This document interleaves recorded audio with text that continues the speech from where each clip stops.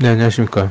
어, 저는 오늘 최저 시급에 대해서 한번 말해보도록 하겠습니다. 7월 14일 날, 어, 최저 시급이 확정이 되는데요. 이제 최저임금 심의 의결기구인 최저임금위원회 최임위가 제15차 전원회의에서 2019년도 최저시급을 8,355원으로 확정했습니다.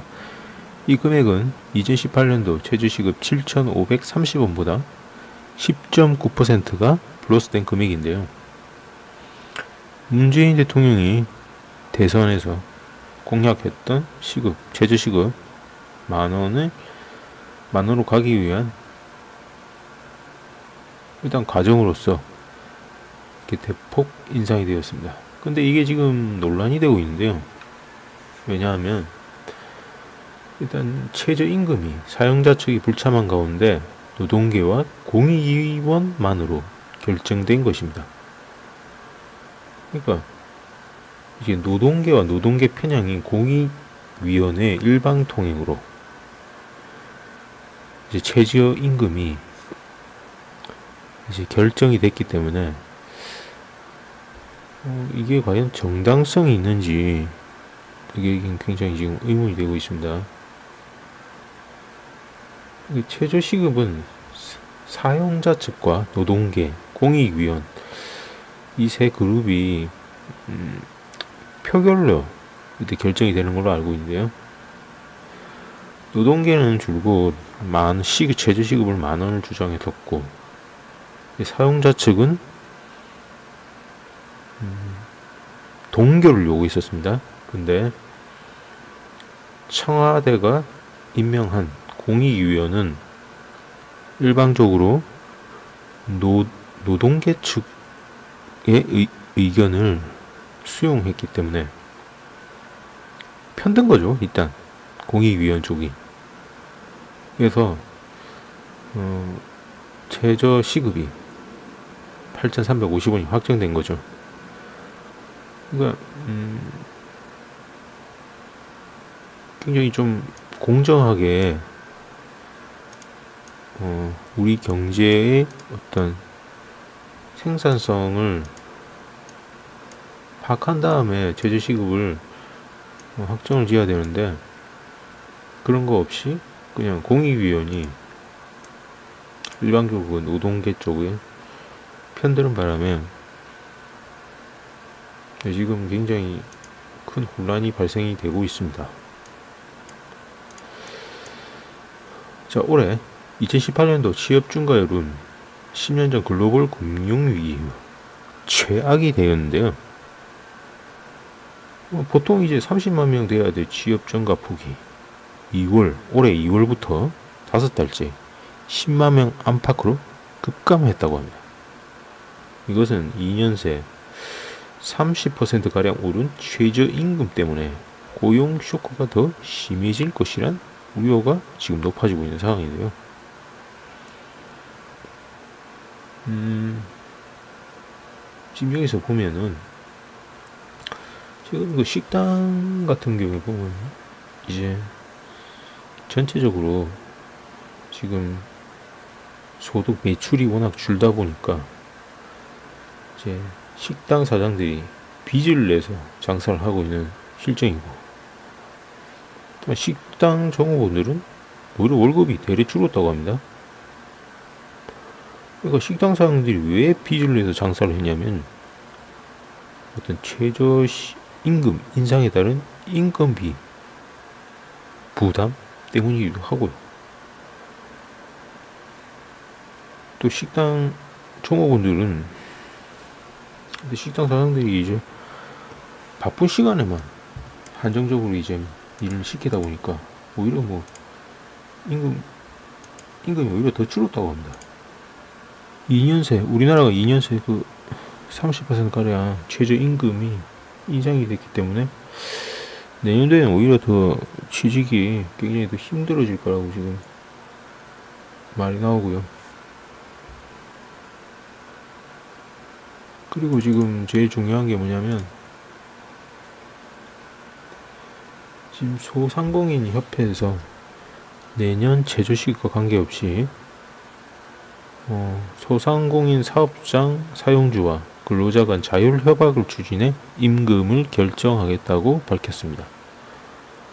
2년 그러니까 사이 29%, 29%나 오른 최저임금을 받아들일 수 없다는 얘기인데요. 소상공인연합회는 과연 2년 만에 29% 이상 매출이 늘어난 소상공인 업체가 얼마나 되는지 당국에게 묻고 싶다고 하네요.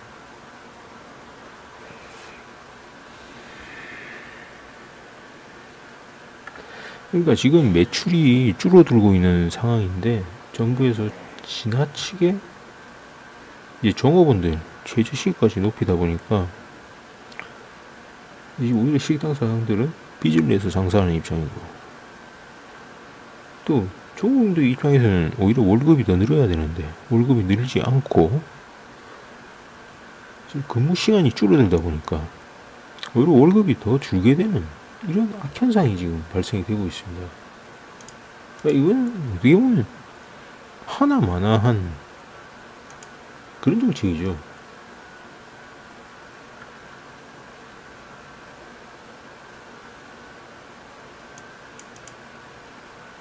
자 그리고 여기 있는 기사도 나오는데요.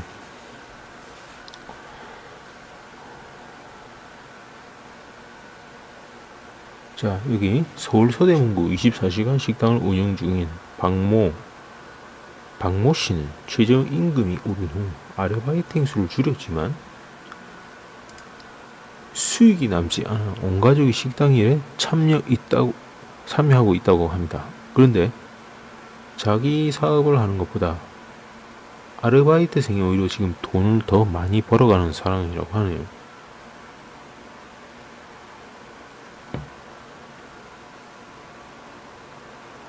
그리고 또 하나 소상공인 영업회에서 소속된 편의, 편의점 가맹점주들은 월 평균 수익이 작년 195만원에서 올해 최저임금 인상 이후 130만 2천원으로 줄었다고 합니다.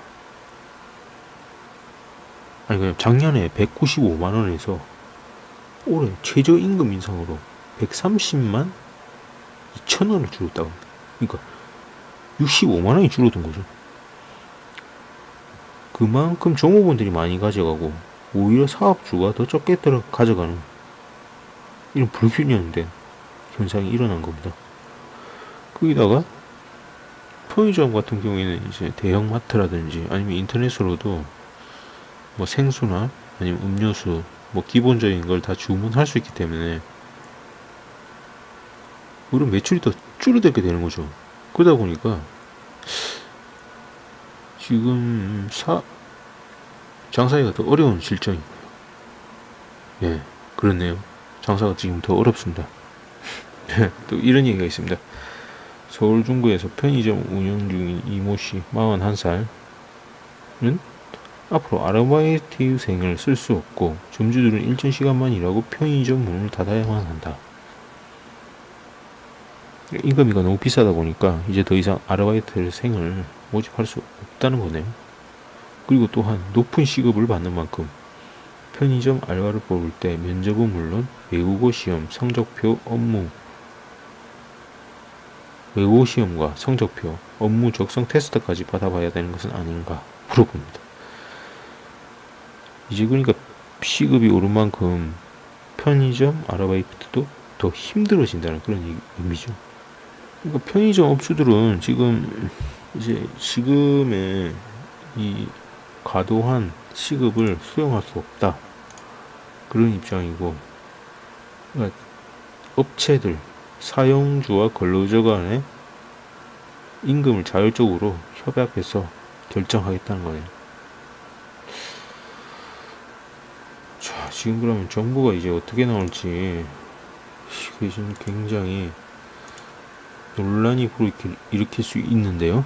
편의점 연합회는 2019년도 내년 최저임금 인상에 항의하는 차원에서 전국 7만여 편의점이 동시 휴업을 추진하는 생각이라고 합니다. 다음 달 초 확정 고시 이후 전국 편의점을 대상으로 심야 영업 중단부터 시작할 것. 뭐 솔직히 편의점이 뭐 휴업한다 할지라도 그렇게 큰 영향은 없을 것 같은데 편의점 업주들이 음, 이런 식으로 문제를 해결하려고 하는 거는 조금 오히려 자충수가 될 확률이 있고요. 그보다는 일단 가맹점 철회를 하는 것이 나을 것 같네요. 장사 안 되면 그냥 가맹점 철회해가지고 사업 접어야죠. 지금 그러니까 우리 편의점 업주분들 보면 이제 회사 다니시다가 이제 그만두고 대부분 이제 자신의 어떤 퇴직금 그다음 은행 은행 대출을 끼고 이제 가게를 열었는데 지금 이제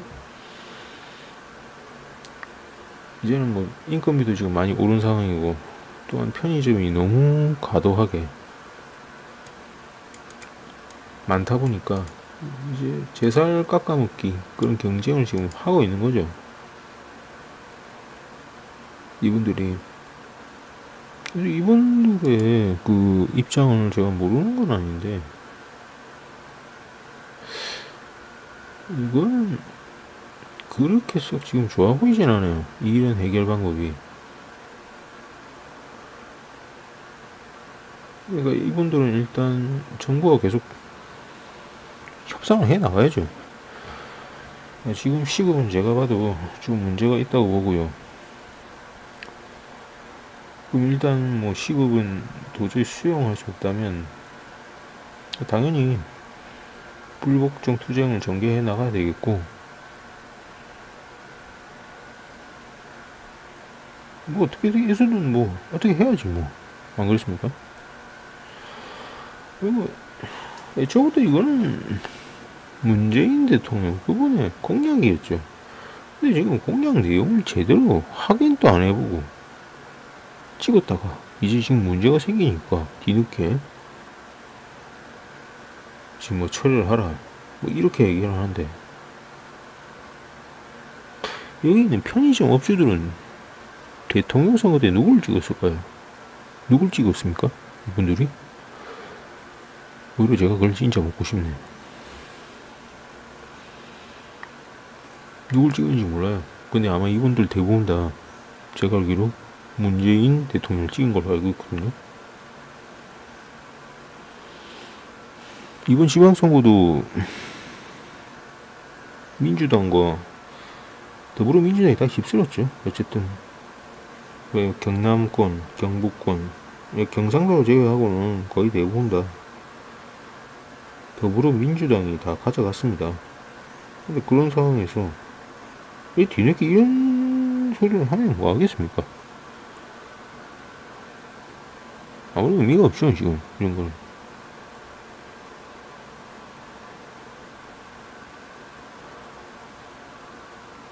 또 편의점 연합회 연합체뿐만 아니라 소상공인 연합회도 수용하지 않겠다.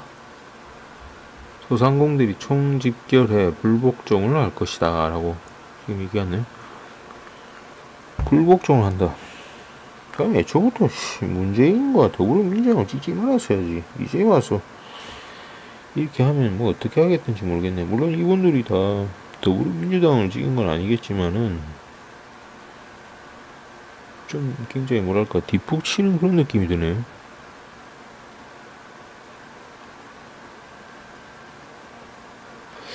불복종을 하겠다는 거는 일단 이분들이 이제 뭐 법을 어겨가면서 뭐 구속될 걸 각오하고 지금 하겠다는 거거든요.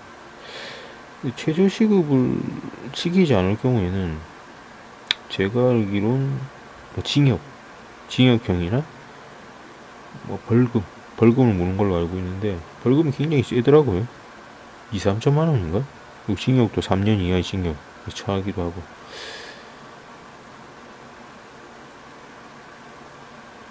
네, 그렇습니다. 이게 어쨌든 굉장히 지금 큰 지금 혼란에 빠져 있는데 아니 이렇게 될 걸 알았으면서도 정부에서 그걸 제대로 조율을 하지 못했다는 나는 오히려 의문이거든요. 일단 이거는 정부 쪽에서 최저시급 인상으로 인해 곤란이 가중된 경우에는 뭔가 확실하게 조절을 했어야죠. 근데 그런 거 없이 그냥 수수방관하고 있다가 지금 이제서 지금 난리가 났네요. 이제 뭐. 지금 노조들도 지금 굉장히 불만에 빠져 있고 지금 사용자 측 편의점 업주라든지 아니면 소상공인들도 지금 뭐 엄청난 지금 불만에 휩싸여 있습니다. 지금 시점에서 과연 정부 여당과 대통령은 어디에 있는 겁니까?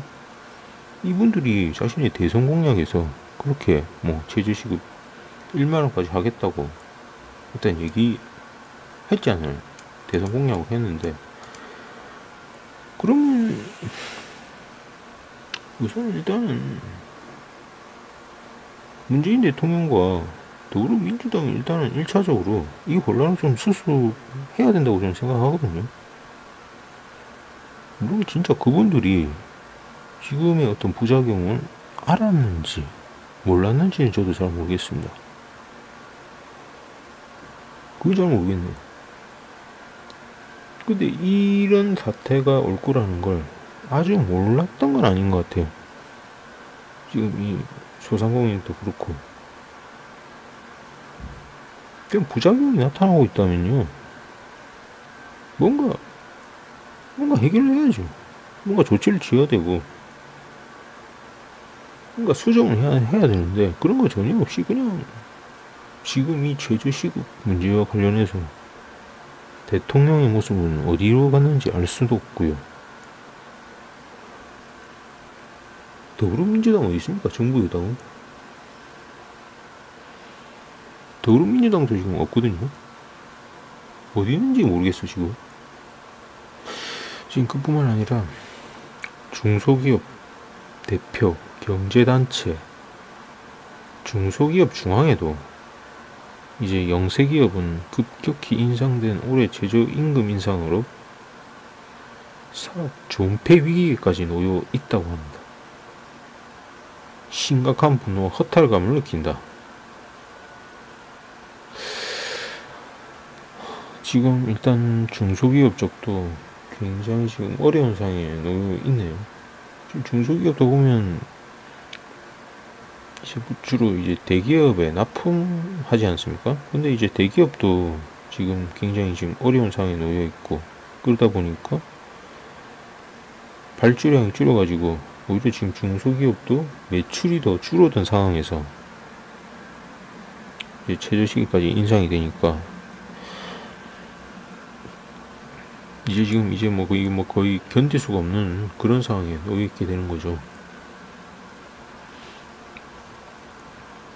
자, 이게 지금 표결의 정의인데요. 최저시급 문제는 표결에 붙일 게 아니라 이건 표결에 붙여서는 안 될 문제거든요. 그러니까 우리 경제 성장률과 더불어서 여러 가지 종합적으로 고려한 다음에 결정을 내려야 되는데 그런 거 전혀 없이 그냥 뭐 그냥 지 멋대로 그냥 해버렸어요. 지 멋대로.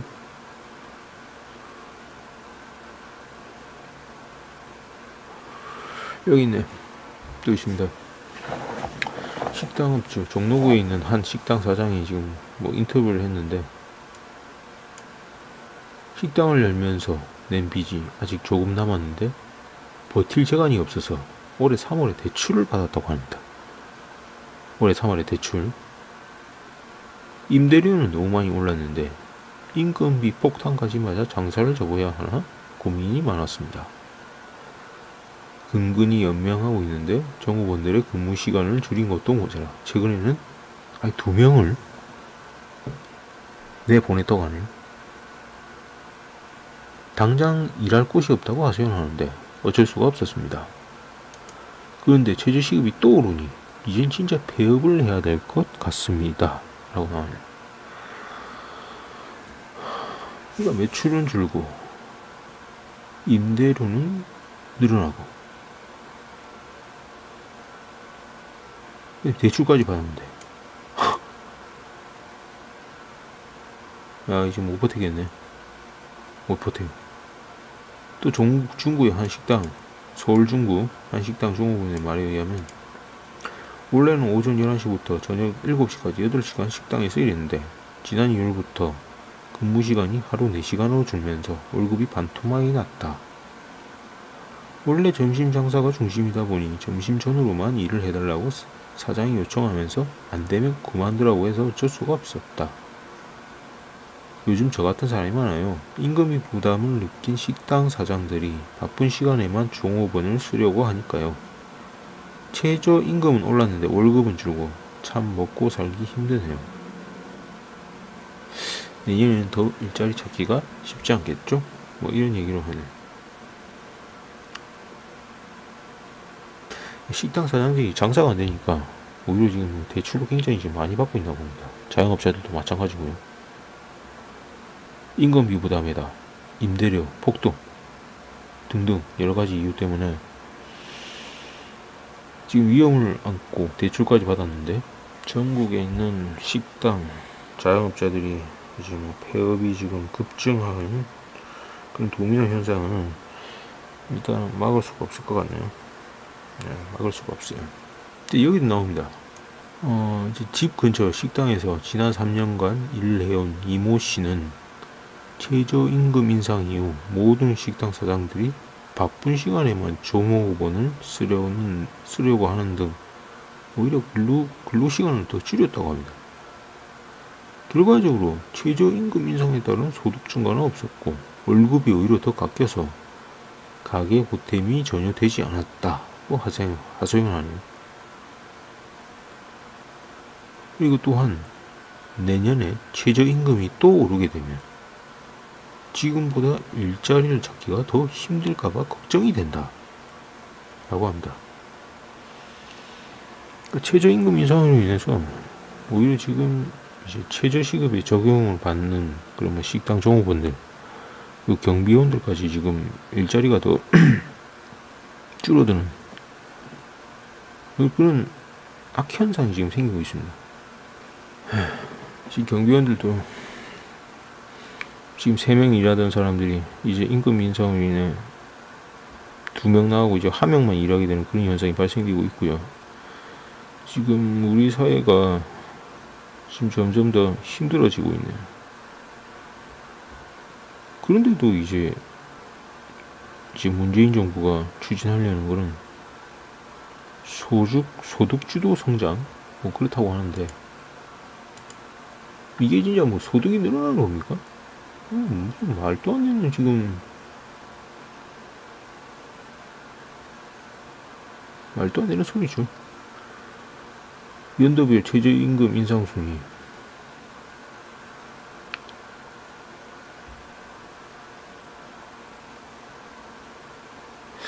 지금 우리나라가 지금 최근 들어서 이제 급격하게 일자리가 줄어든 이유 중에 하나는 최저임금이 너무 급속하게 인상이 되는 바람에 고용 여건이 더 악화되고 있습니다. 2010년도에는 4,110원이었다가 그때는 2.75% 인상되고 2011년도에 5.1% 2012년도에 6% 그렇게 6% 7.2 8.1 이렇게 쫙쫙쫙 인상이 되다가 2018년도에 우리 16.4%가 인상이 됐네. 그럼 민주노총을 포함한 노동계 쪽은 이제 이분들은 대기업 소속이죠. 대기업은 이제 뭐 최저 시급보다 훨씬 많이 받기 때문에 이분들은 적용이 안 됩니다. 최저 시급이 오르나 뭐 많아. 근데 이제 중요한 건 최저 시급이 오름으로써 이분들도 이제 대기업 노조들도 자기가 그만큼 이제 더 많은 돈 받아가려고 하는 거죠. 어쨌든.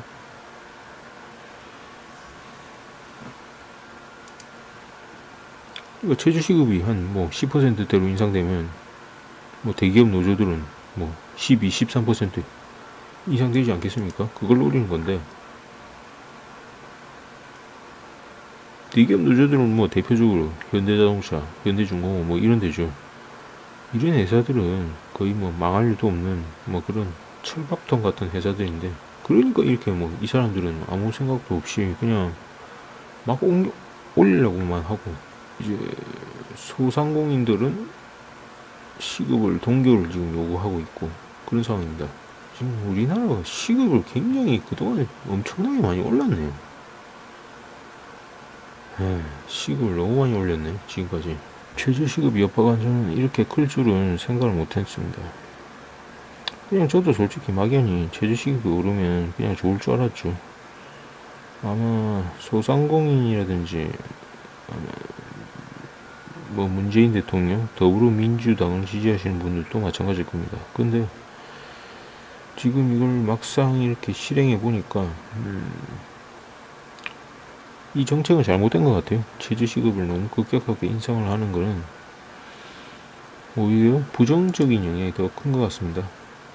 우리 산업계 전반으로 봤을 때 오히려 더 안 좋은 것 같아요. 그 와중에도 지금 민주노총은 또 파업을 하려고 이 영상 두 자릿수 인상이지만 산입 범위 확대로 실질적인 임금 인상 효과는 한 자릿수에 불과하고 그 수준도 역대 최악이라고 말하고 있습니다.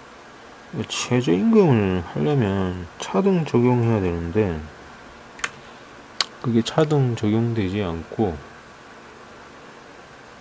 공익위원 쪽에서 아마 이걸 공익위원과 노동계 쪽에서 이걸 반대를 해가지고 일률적으로 최저시급이 지금 적용이 되게 됐는데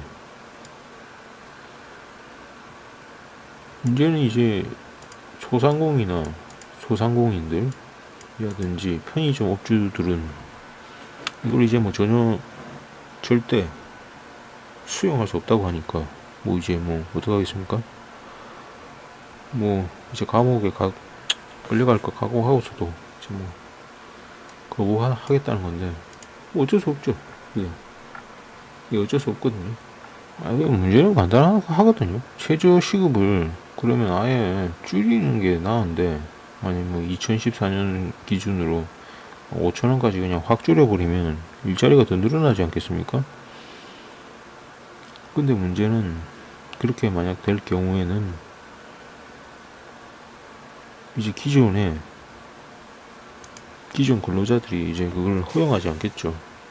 그럼 일반적으로 만약에 뭐 최저시급이 더 줄어들게 되면 전체 근로자의 임금이 또 삭감될 염려도 없지 않아 있거든요. 그러니까 노동계 쪽도 뭐 강력하게 반대를 할 거고